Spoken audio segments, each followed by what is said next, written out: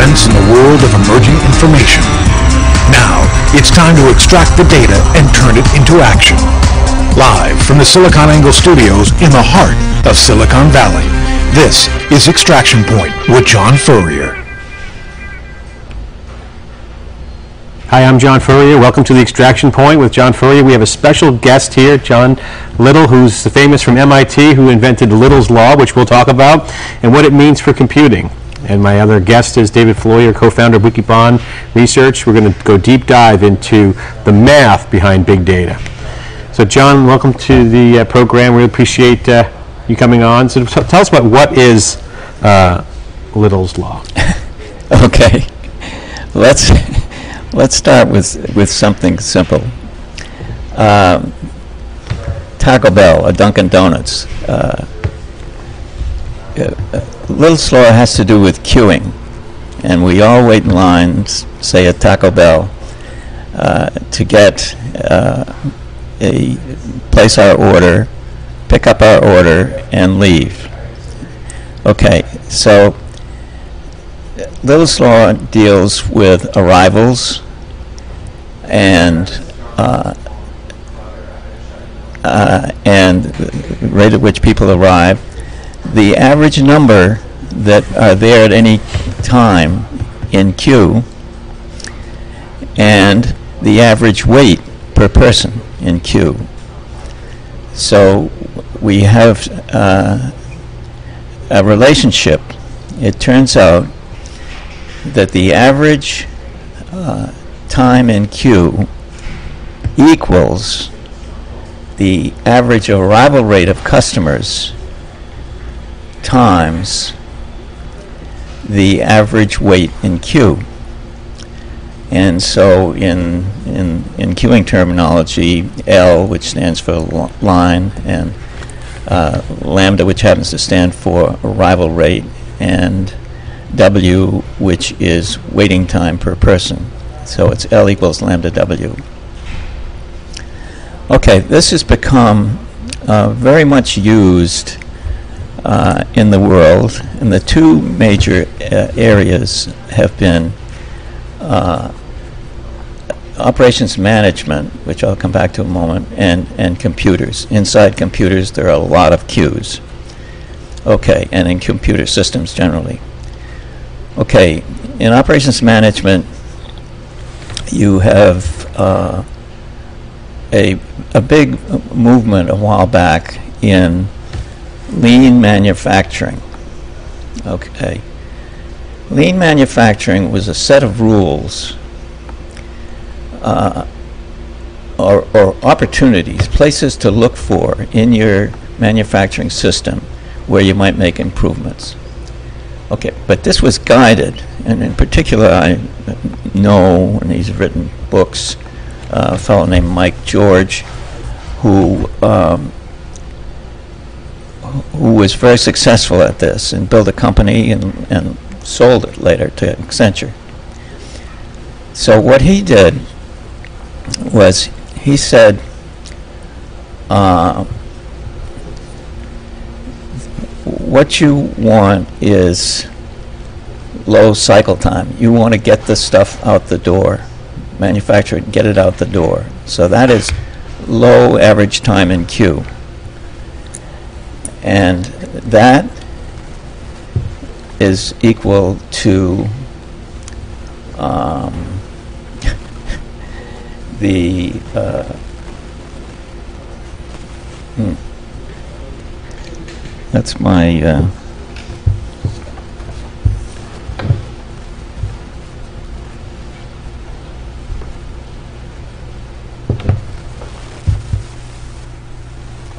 no it's not that one actually uh, it's it's the average queue length divided by the uh, tr- transaction rate. And so what he did was uh, essentially look at these potential f- for improvement, and he found the major potential for improvement is in reducing the uh, the queues, the average queues. And so he would uh, scout around and find things in lean manufacturing which would reduce that. And it's, that meant that he decreased what the computer people call latency, uh, but I call average, and, and the operations people frequently call cycle time. But it's essentially the time between producing the next uh, item or manufacture, airplane, whatever. And so this was a very successful operation, and it and it becomes clear because of the, the uh, Little's law, because Little's law is essentially a mathematical equation. You don't have to go out and check it in, in the field. It's true, and and and so it, it it offers very strong guidance to people who wish to um, uh, improve their systems. But it doesn't improve the system itself. You have to look at the terms of it and pick on the ones that uh, you think you might affect and take it from there. David, you, you obviously have an um, interest in storage and operations around some of these new trends going on in the business. And you know, storage has been the hottest area around cloud and, and, and this new social web. And so this is an operations equation. And, and often in, in the big data world and storage and Hadoop and in the world we live in, you know, the word data scientist comes in. But there's math involved. What's your opinion on the complexities and how Little's law is, is vectoring into it? Because you, you and I were talking about Fusion IO, for example, and some of the things they're doing with low latency. Right, But you know, moving packets around is a, is queuing theory. There's Absolutely. arrival times, is transit. This is math. I mean, manufacturing, computing. How do you draw that together? So, uh, so w- one of the challenges of, of computers has been uh, the mismatch between uh, persistent data, uh, safe data, and the memory uh, where all the operations are done in the computer itself.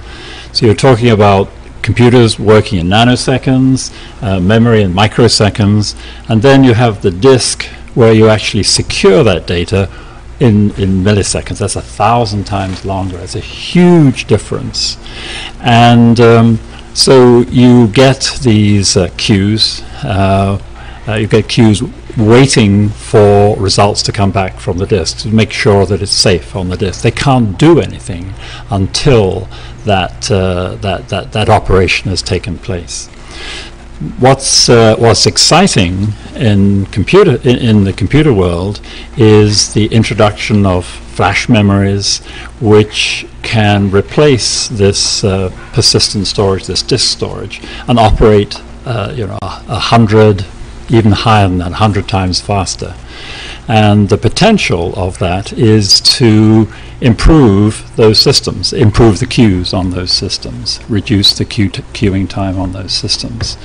And um, uh, obviously, the trade off is the cost. They're, they're higher cost than the disk drives themselves. But by applying those to the system as a whole, then you should be able to increase, uh, if I'm right on this, uh, Professor Little, if you're, if you're reducing that latency, or if you're improving uh, the time on that operational side of things, then you, your potential is to increase the throughput through those So, systems. so I was. I was, I posted on Facebook today an article um, around that the Guardian wrote in the UK, and it was about the internet is over. And I want to bring this up because I think what's relevant about John being here today and this conversation is um, extracting out a little, little beeping going on here. Uh, extracting out the data around what this really means. And the article is written around uh, this South by Southwest big tech conference going on where the Guardian writer, uh, journalist, went down and said, he went down, I went down looking for the next big thing. This is a conference that's all about the next big technology trend.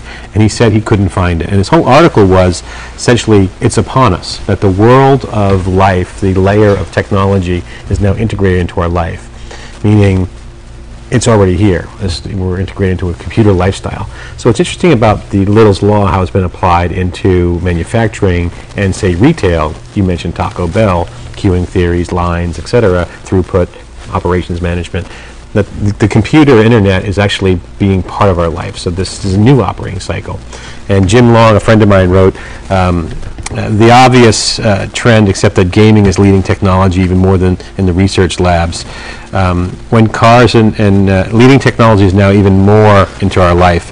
When cars and highways were invented, they went from cumbersome to an integrated part of our life with rest stops, gas stations, and repair shops. That is what is happening here with technology, although more personal and ubiquitous. So he's saying social networks have he- are here. So this concept of of data, the speed of data, the latency, is a big challenge for the lifestyle of the workers, productivity. Um, so you know, so tie that together to the geek terms. Where so how does that fit into uh, the life of, of, a, of a user, and then how does that relate to a company like an HP, a Fusion IO, an IBM, an EMC, et cetera? Shall I have a go at that first, and Sure, then you can sure. comment on it? do, Um. I, to, to me, what's in, what's really exciting about this is that previously we designed, well, not we, the the, the, Industry. the industry designed computers around these constraints. This big constraint, particularly on the disk drive, they they had to do their best to, to get around this, and they invented lots and lots of different ways and techniques of getting around that, that particular problem. The exciting thing here to me is um, that when you when you're looking at computer architectures and you're looking at ways that you can improve it, the the biggest single way of improving it, uh, the throughput of it, is going to be to reduce the latency, and and it's a direct. If I understand your math correctly on this, it's directly related to it. So if you go from a millisecond uh, to uh, 50 microseconds, you've essentially increased the potential throughput. And then, you know, Of that you know, uh, th- by- and we have a new phenomenon with this called the real-time web, which is real-time data analytics. You have, you know, um, mobility. Um, So, John, you're out here in Silicon Valley talking to some of the big companies that are impacting the social lives of people. Okay, well, a couple of elements there. But first of all, I'll, I'll, I'll corroborate this. The, I'll say how Little's law fits into uh, what we just heard. He's concerned about transaction rate. Okay. In Little's law's uh, uh, terms, transaction rate equals average queue in the system divided by latency. So if you want to up the transaction rate, you reduce the latency, you improve the latency. And, and so that's Little law expression of uh, what we've just heard. So the, the on a more personal note, I want to ask you to an opinion from you. You're out talking to some of these young developers and some of the most biggest, most growing companies in Silicon Valley. I won't say their names, but they're you know in Silicon Valley uh, and Mountain View. Palo Alto, Mountain View. You know, these are the biggest, most, uh, the new franchises in technology, the big new names, and they're impacting hundreds of millions of people with this new technology, these social technologies. And most of the engineers are young. Um, what have you found in talking to some of the younger generation of, of computer science Well, I, folks? I found that the guy sitting next to me was from MIT. Did they know who you were? he asked me about a, a, an, an electrical engineering professor. that I know. Are they are the kids young? Are they just uh, unconsciously competent? Or what's the what's the, what's your impression? I mean, Oh, they go where the excitement is, and uh, the, the the best people. are they feeling Little's For law? a long time, for a long time, well, no. well, after I spent my time on uh, Little's Law this morning, the uh, this MIT guy went out and he got in a big uh, big discussion with another engineer. He said, "That gives me some ideas." so, So you're creating a lot of uh, provocative kind of questions for these folks to think about. And uh, well, I had them prove Little's Law. did they prove it? I gave him an easy case. Yes, they're. Cool, cool. Well, technology, you know, the extraction point here is that technology is changing. The platforms are growing layers upon layers, you know, like trucks and, and cars had highways and